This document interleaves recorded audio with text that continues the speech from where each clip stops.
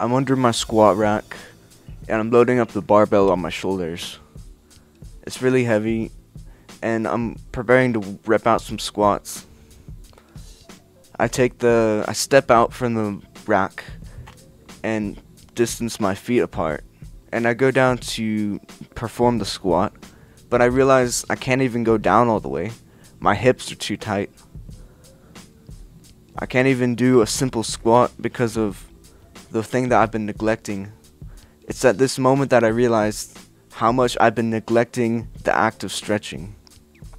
I got super big into bodybuilding and like working out and stuff, but I realized that working out a ton it makes you uh, very stiff and not flexible. In order to counteract that, we need to implement stretching. It's at that moment I realized the importance of stretching and how much I've been neglecting it. I've always had the worst hip flexibility ever. It's actually super embarrassing how bad of hip flexibility I have.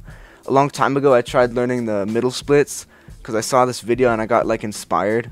I'm like, I want to learn to do the middle splits. Anyways, I go about doing it. I tried doing it for like 30 days, longer than 30 days, and I made like no progress. I realized I have the worst hip flexibility, and I've never even noticed that. But now, since really now it's starting to impact my life in a negative way. We sit down all day, we're very stationary, we sit at our desks, and we never really, most of us have pretty bad hip flexibility. So generally, I'll try like, I'll do like calf kicks on people I try, you know, like the MMA calf kick. My hip flexibility is so bad that I can't even like actually calf kick. The like the one you think doesn't even need that much flexibility. I can't even do that because I can't stretch my hips out enough to actually do the kick. I've been neglecting stretching for the longest time, and it's about time. Me personally, I've started implementing stretching into my routine. And real quickly, I want to talk to you guys about the importance of stretching and why stretching is so important in the first place. So I think we all know the value of stretching, but I'm just going to go over it real quick. Is it decreases your risk of injury, it helps your joints move through their full range of motion, it increases muscular blood flow, enables your muscles to work more effectively. That's just a Google thing. I want to relate a similar story about stretching to David Goggins. David Goggins, he um credits stretching to saving his life basically. He I was reading his book, and I, I I'm just gonna recite this from memory. But he got like a giant clump or whatever on the back of his neck, and he was having a bunch of these health problems, and he couldn't run. He would try doing some marathon or whatever, and he couldn't even run correctly. He was always run out of like he'd gas out or whatever. He just wouldn't be able to continue, and he didn't know what the problem was for the longest time. And he was like on. He felt like he was on his deathbed. He couldn't do anything, and his health was ever so slowly declining. But he remembered like something back in SEAL camp or whatever about stretching, the importance of stretching, how Navy SEALs they'll be working, they'll be doing these tons of flutter kicks, they'll be absolutely punishing their bodies, doing all this hard stuff, and their muscles get super stiff, and then they have trouble, they don't get blood flow to their muscles. And that's what David Goggins was experiencing.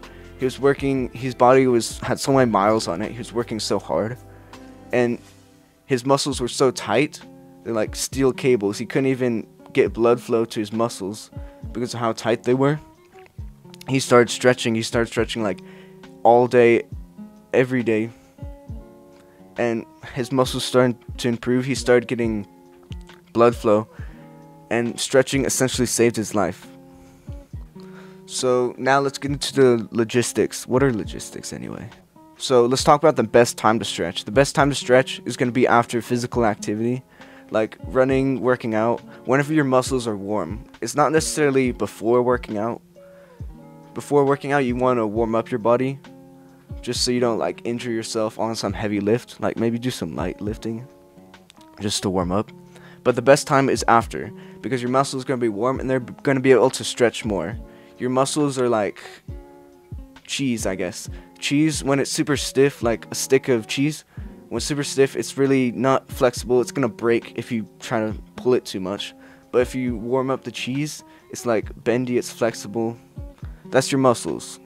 You're gonna be able to get into a deeper stretch. You're gonna be able to perform better and get more out of a stretch and progress way quicker if you do it after a workout when they're warm. That's when I that's when I work out. I've implemented into my routine. So every day after my workout, I will stretch for like 5 minutes. That's just a habit. I put on my habit tracker. Now, what kind of stretching do I do? I just hold like static stretches like the hip flexor stretch, the hamstring stretch, just all that stuff. I just work on the muscles that need the most attention, like my hips, my legs.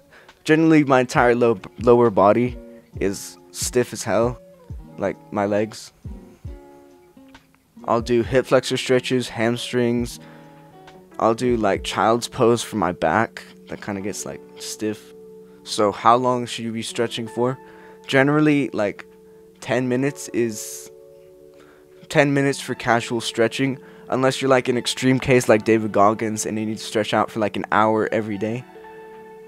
Yeah, so if you want to like level up your stretching, I guess, like 30 minutes for people really trying to increase their flexibility, but just for casual stretchers, it's gonna be 10 minutes. You shouldn't need any more than that. Thank you for watching this video. If you could do me a favor and check out the first link in the description. It's my Discord community. It's the only thing I sell. I sell a mentorship I saw one-on-one co coaching there.